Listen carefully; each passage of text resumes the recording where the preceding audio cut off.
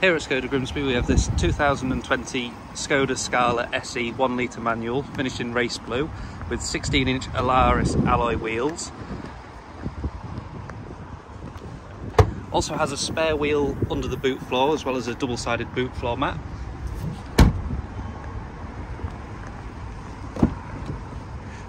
Cloth grey interior and grey dashboard.